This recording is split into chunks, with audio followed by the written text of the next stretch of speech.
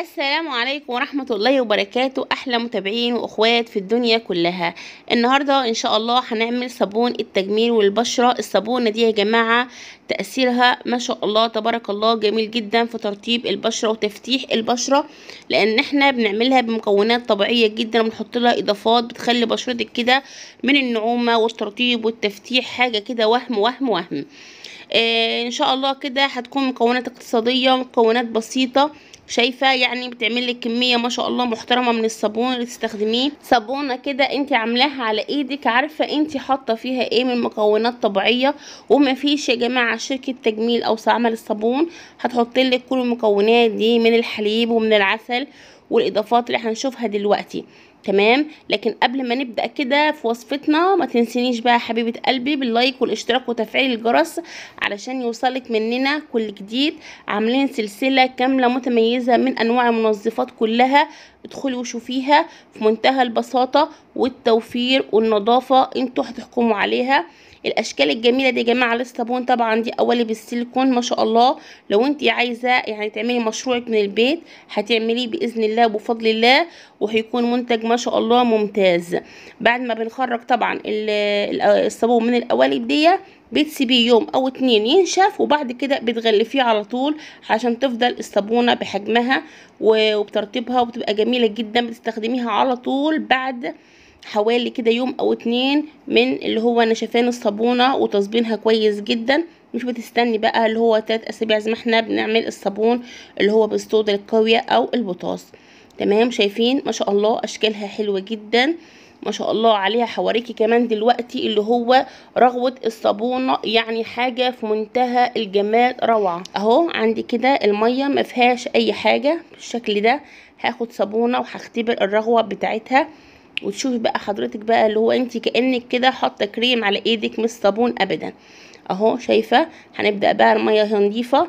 بدوب إني بلف الصابونة وبدوبها كده أو برغيها بإيديا. شايفين؟ الرغوة ما شاء الله. حلوة جدا. ولسه كده هتشوفي الترطيب كده والنعومة.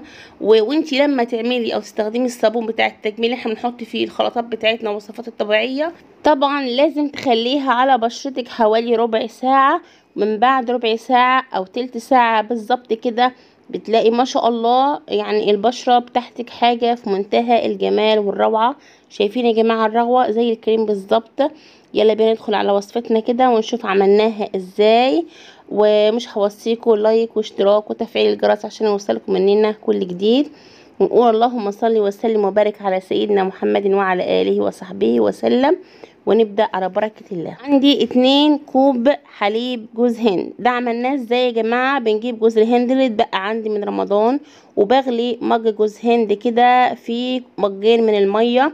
بعد كده بضربهم في الخلاط وبصفيهم وباخد الحليب بتاعهم زي ما أنتم شايفين. طبعا حليب جوز الهند مفيد جدا للبشرة وكمان بضيف عليهم كوباية صغيرة كده من الحليب العادي كامل الدسم.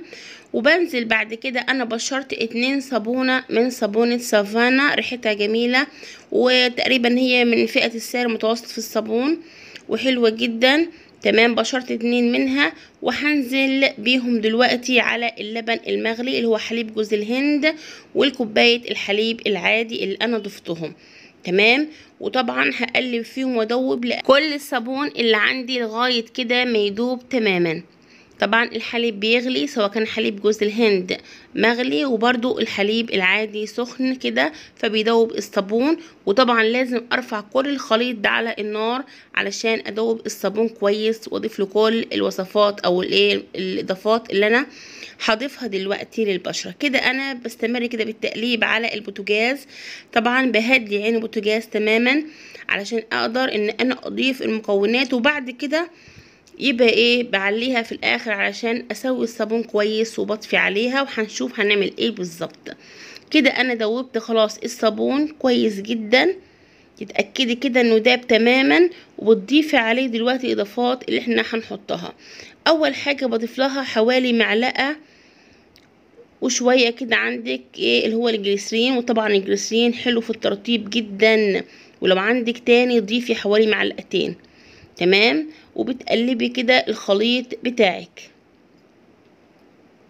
حاجة تاني كمان من الحاجات اللي هي مفيدة جدا جدا للبشرة وهي من الزيوت اللي بتعمل تفتيح للبشرة زيت الورد. يعني سواء كان زيت الورد أو زيت اللي هو الجليسرين أو الجوجوبا دي من الزيوت المفيدة جدا واللي انتي دايما حاولي تكون عندك في البيت. أهو بالشكل ده. تمام؟ هنزل دلوقتي وهضيف لها بقى اللي هو زيت الورد. زيت الورد ده يا جماعة من الزيوت الحلوة جدا في تفتيح البشرة زي ما قلنا. بحط كده غطيتين من زيت الورد وبقلب الخليط بتاعي كويس جدا. أهو زي ما حضراتكم شايفين. دلوقتي بضيف معلقتين من عسل النحل. وطبعا إحنا عارفين عسل النحل بيكون ما شاء الله الإفكت أو التأثير بتاعه على البشرة إزاي؟ يعني في الترطيب والتجميل وتغذية البشرة حاجة كده ما شاء الله جميلة جدا. أهو بقلب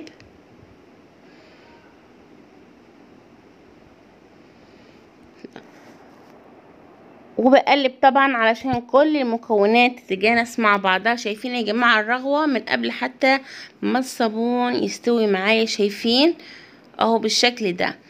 هنزل بقى أو هضيف لها اللي هو معلقتين كبار هرمين كده من السكر.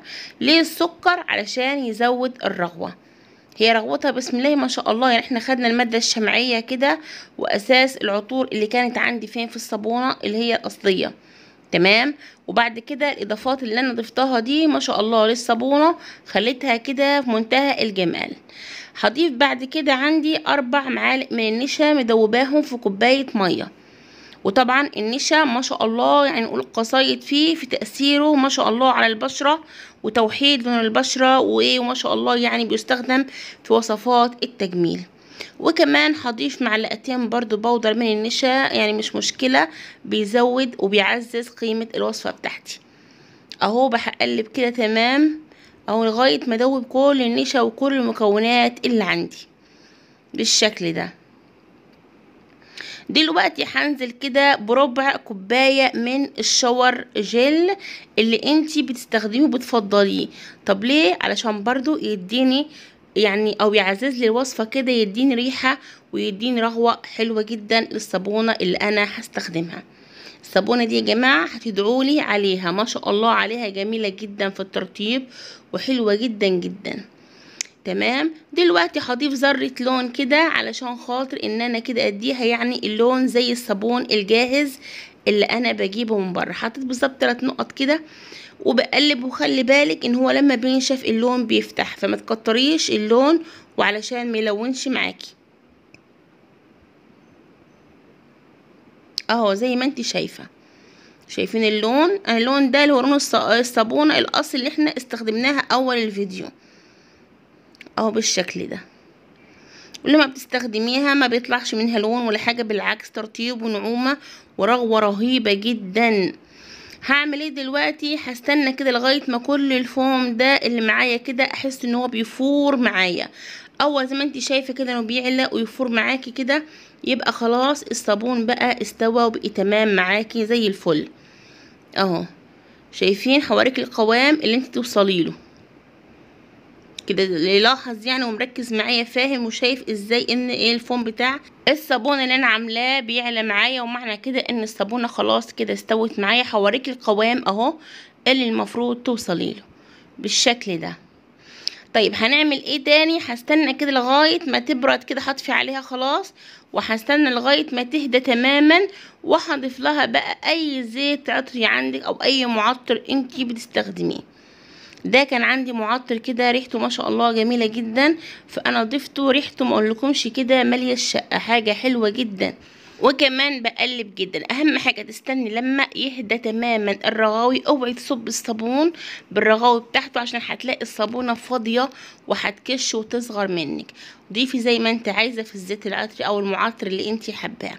حاجة تانية هضيفها كمان هتعزز الوصفه كويس جدا.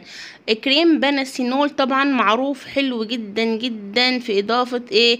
أو في ترطيب البشرة وكمان في إزالة إيه اللي هو التجاعيد وشد الوجه. يعني ما شاء الله عليه جميل جدا. حطيت كده ربع اللي هو الأنبوبة مع الكريم بتاعي. اما حاجة زي ما بقول تستني لما الرغاوي تهدى أوعي تصبي الصابون على كده. هتفضى معاكي وهتنشف وتبقى مش اللي هي. تمام؟ أهو. شايفين برضو هستنى عليها. لما تهدى كده كمان شوية وهصبها في شفشق كده أو في أي حاجة ليها بوز أقدر إن أحطها في القوالب السيليكون. تمام؟ أهو كده هستنى ما كده شايفة هي إزاي الرغاوي عايزة السائل ده مش عايزة الفوم لأن الفوم بيخلي الصابونة فاضية معايا. وبنزل أهو زي ما انت شايفة كده أول حاجة بترش القلب اللي هو كحول. تمام؟ وهو بتنزلي بقى اللي هو عندك الصابون اللي انت عاملاه في القوالب الحلوه دي. بنصح كل ست تجيبها بتدي ما شاء الله شكل جميل جدا للصابون وما شاء الله حلوة حلوة. لو انت عايزة تعملي مشروع بتعمل شكل كده مميز للسلعه بتاعتك اللي انت عايزة تعرضيها. زي ما شفنا في بداية الفيديو كانت أشكالها حلوة واشوفها دلوقتي كمان. أهو عندي كام قالب؟ عندي ثلاث قوالب من السيليكون. طبعا شكل الوردة اللي أنا دايما كنت أشتغل بيه ودي قوالب يا دوب جايباها بس ما شاء الله عليها في منتهى الجمال والروعة. أهو. خلاص خلصت كده. برش بقى اللي هو الكحول على الصابون علشان لو في أي إيه اللي هو فقاعات أو أي حاجات مش كويسة تروح وتفضل الصابونة بقى عندي ملسة وجميلة. أهو زي ما انت شايفة كده. هروح القالب التالت بقى وهعمل فيه نفس الحركة. هرش كده اللي هو القالب الورد اللي عندي الروز ده هرشه اللي هو عندي كحول وبعد كده هصب الصابون فيه. أهو شايفين كل ما ترشي الكحول كده بيبقى الصابونة ملسه وجميلة. أهو القالب الروز بتاعي بقى اللي هو الورد ده رشة كحول خفيفة وبنزل بعد كده عندي بالصابون. بصب الصابون اللي عندي صابونة يا جماعة وهم حلوة جدا.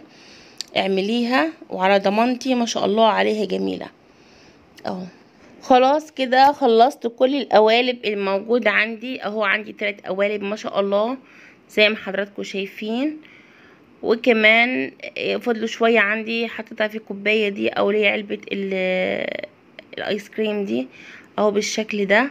دلوقتي هدخلها التلاجة ساعة واخرجها واهو ما شاء الله تبارك الله شكل الصابون بعد ما خرجناه كده من التلاجة.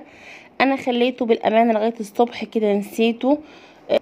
شايفين يا جماعة ما شاء الله الصابونة طالعة كده مليانة وحلوة كده يعني وملمسها ما شاء الله ريحتها في منتهى الجمال. صابون يعني فاخر من الآخر. شايفين الأشكال الجميلة دي؟ لو أنت عايزة تعملي مشروعك من البيت إن شاء الله هتطلعي منتج متميز وجميل جدا. آسفة على الإطالة لكن حبيت إن أنا أفيدكم بكل حاجة. ما شاء الله الصابونة حلوة جدا اقتصادية بتوفر معاكي كتير. يعني ما شاء الله عليها صابونة فاخرة جدا جدا. ولو خدتي بالك إن كل المكونات اللي إحنا عملنا بيها وصفتنا النهاردة كانت من مطبخك الصابون اللي إحنا استخدمناه سعره اقتصادي جدا. مواد بسيطة تضيفيها في كل مرة تعملي فيها الصابون يعني حاجة ما شاء الله اقتصادية وموفرة. هنا كده خلص الفيديو بتاعنا. الفيديو جميل جدا. ومرة تانية أسفة على الإطالة بس حبيت أوضح لك كل تفاصيل الصابون. والسلام عليكم ورحمة الله وبركاته. وانتظرونا فيديوهات أخرى جميلة ومفيدة.